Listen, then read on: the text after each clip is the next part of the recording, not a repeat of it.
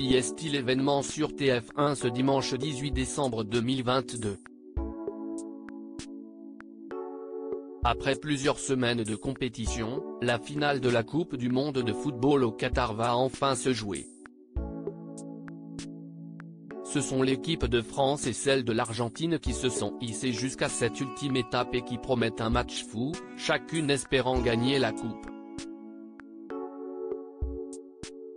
Mais avant de siffler le début de la rencontre, si est-il la cérémonie de clôture de ce mondial qui a été proposée aux téléspectateurs de TF1.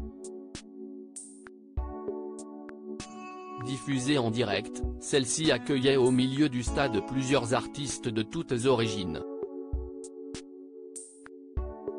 Les seuls qui ont accepté de s'y produire tandis que de nombreuses stars de la musique avaient annoncé leur intention de boycotter la compétition. Gims, lui, n'y a pas réfléchi à deux fois lorsqu'on lui a proposé de chanter. Ce deal la FIFA me le propose il y a deux ans, si est le confinement, on parle de chanter devant des millions de personnes, ça ne se refuse pas, avait-il justifié au micro de France Inter. Les internautes en colère s'y donc pour chanter son titre Arbo en compagnie du chanteur portoricain Osuna qui l'a donné de la voix. Problème, on ne l'a pas du tout entendu. En effet, sa prestation fut malheureusement loin d'être encensée par les internautes, la faute à de lourds problèmes de son venu polluer la cérémonie. Les critiques ne se sont alors pas faites attendre sur Twitter.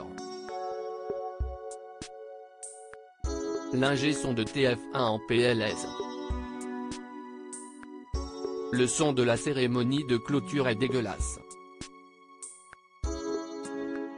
On n'entend rien, elle est nulle la régie son, j'espère que l'équipe de France est plus prête que la régie, sérieux si est quoi ce son, ils ont oublié de brancher leur micro, si est scandaleux, y a pas à faire une retransmission aussi pourrie. Le réglage du son si est honteux, qui est responsable du son? Horrible, cesse-t-on rapidement insurgé sur la plateforme sociale.